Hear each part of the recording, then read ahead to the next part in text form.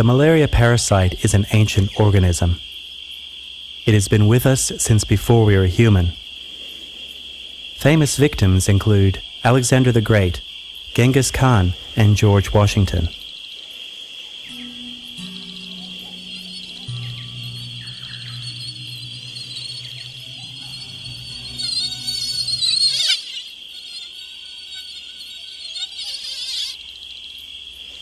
The malaria life cycle follows a devious path, swapping back and forth between mosquitoes and humans.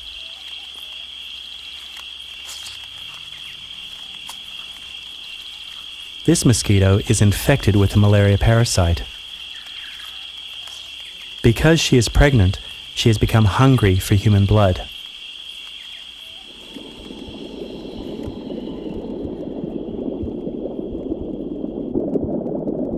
During the bite, she injects saliva to stop the blood from clotting. Her infected saliva also carries the malaria parasite. The parasite rides the bloodstream like a network of roads, seeking its first target the core of your body's blood filter system, the liver.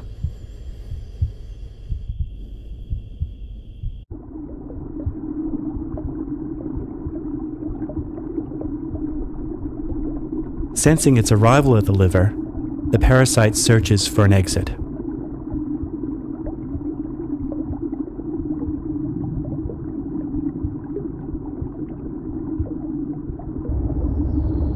A sentinel Kupffer cell is the entry point to liver tissue. Leaving the blood, the parasite infects a liver cell, killing one or more other cells on its way.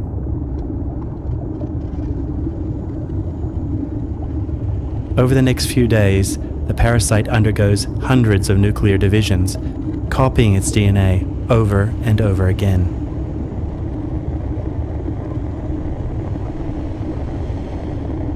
A single infected liver cell can create thousands of new parasites.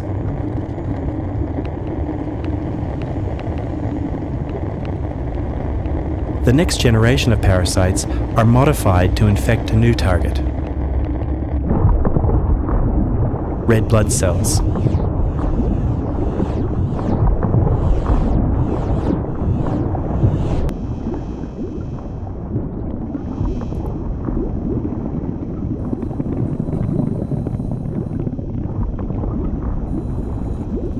Inside a red blood cell, the parasite can hide from the body's immune system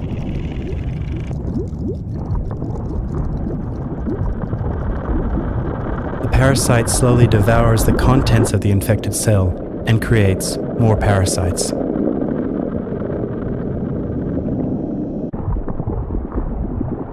The infected cell becomes sticky and grips onto blood vessel walls. Once mature, the infected cell bursts, spreading more parasites through the bloodstream.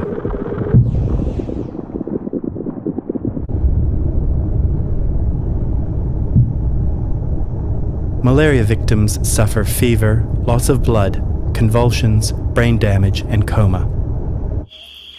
Countless millions have been killed by it.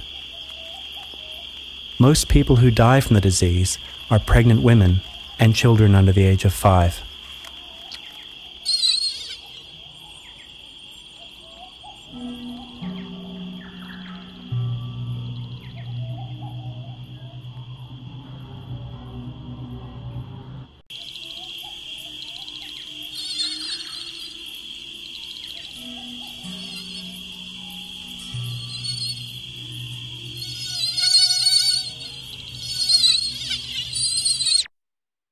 Mosquitoes are usually vegetarian, preferring to drink nectar, fruit juices, and honeydew.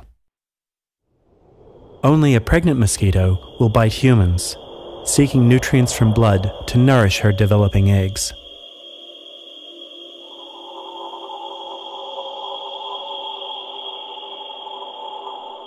If she drinks blood from someone infected with malaria, she too becomes infected with the disease.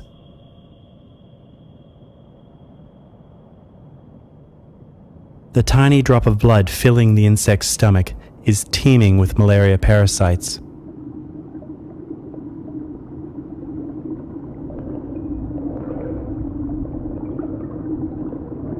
The parasite form that is deadly inside humans cannot survive in the mosquito's stomach and is slowly digested with the rest of her blood meal. However, back in the human host, a few of the parasites turned into a different type of cell, one that is sexual but remains dormant.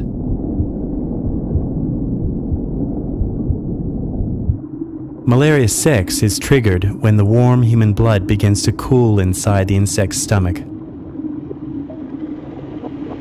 The female form of the parasite matures into an egg.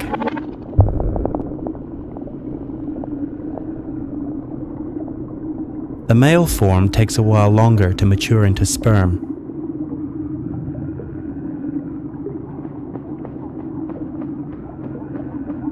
This sperm is from an earlier feed.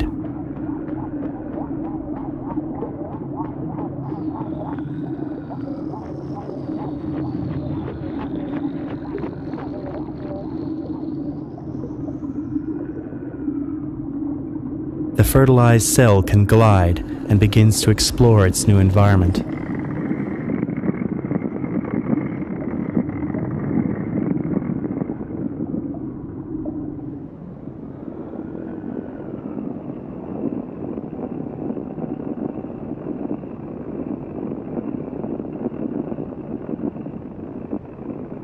It migrates to the outer lining of the mosquito's stomach before transforming into a cyst.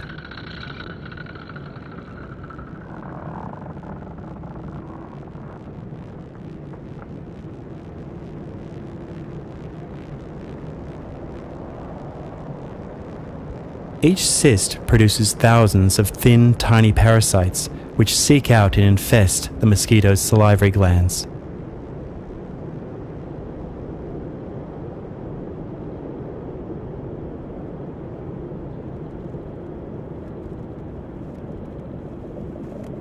The next time this mosquito bites a victim, the malaria parasite will ride in with her saliva and infect another human.